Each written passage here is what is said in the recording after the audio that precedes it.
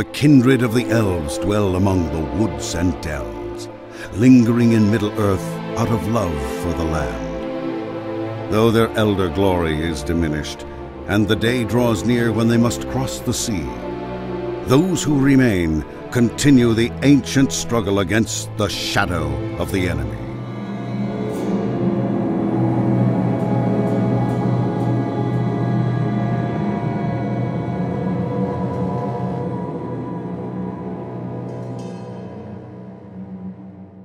Product not yet rated.